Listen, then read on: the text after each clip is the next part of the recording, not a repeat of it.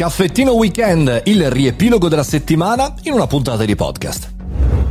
Buongiorno e bentornati al Caffettino Podcast, sono Mario Moroni e come ogni giorno, da lunedì al sabato, sono qui con voi per chiacchierare e ogni tanto anche la domenica chiacchierare di tech, social e anche marketing. Pronti partenza via perché c'è tanta carne al fuoco in questa settimana.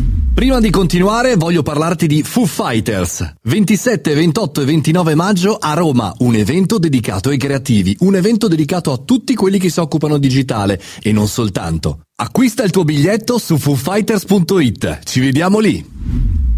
Eh, molto bene, molto bene. Immagino che siete un po' arrivando anche al Teatro Palladium oggi, in questo sabato pazzesco. Ma al di là di questo, al di là di Roma, della community che si rivede insieme, abbiamo aperto la settimana con una notizia molto interessante. Amazon lavora sempre più sul mondo retail e offre un cashback a chi acquista un prodotto grazie a Amazon Alexa ma lo acquista nel retail e lo riscatta online. Una cosa molto interessante che vi invito ad andare a analizzare, soprattutto se ti occupi di e-commerce e di marketing. La puntata è quella di lunedì 23 maggio, per cui non fartela assolutamente sfuggire.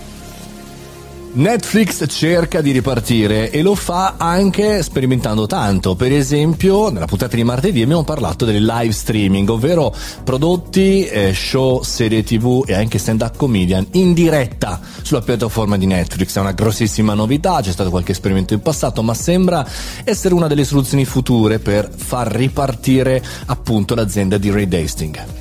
Mercoledì un qualcosa di molto molto italiano, abbiamo parlato dello sblocco della, diciamo così, deroga per quanto riguarda le partite IVE forfettarie, sblocco per quanto riguarda la fattura elettronica. Al di là che qua ho visto ci sono ulteriori deroghe come al solito nella bella Italia, ma io invito in questa puntata anche in maniera abbastanza provocatoria a valutare la fatturazione elettronica come una grande novità, interessantissima che semplifica anche il nostro lavoro di piccoli imprenditori, grandi imprenditori, professionisti oppure oppure nuove partite IVA come forfettari. La notizia di giovedì è una notizia non troppo nuova perché è uscita qualche giorno fa, ma che secondo me è molto interessante andare a analizzare anche dopo un po' di giorni, perché ci consente di capire perché WhatsApp sta facendo un percorso verso i social. La notizia è WhatsApp consentirà di abbandonare i gruppi in silenzio, che non vedevo l'ora, ne avevo bisogno come l'aria, ma anche qual è la tendenza di questo programma di messaggistica che sta diventando sempre più un social. Chiudiamo con la puntata no news di venerdì che è la rivincita delle persone normali. Sono partito dalla vittoria eh, del Milan nello scudetto eh, di quest'anno con l'allenatore Stefano Pioli, una persona normale che ha fatto le cose normali e che ha risultato eh, veramente vincente. Interessante anche come confronto con la nostra eh, capacità imprenditoriale di professionisti di fare le cose normali come vanno fatte ogni singolo giorno. Mi viene da dire quasi un po' al caffettino mille.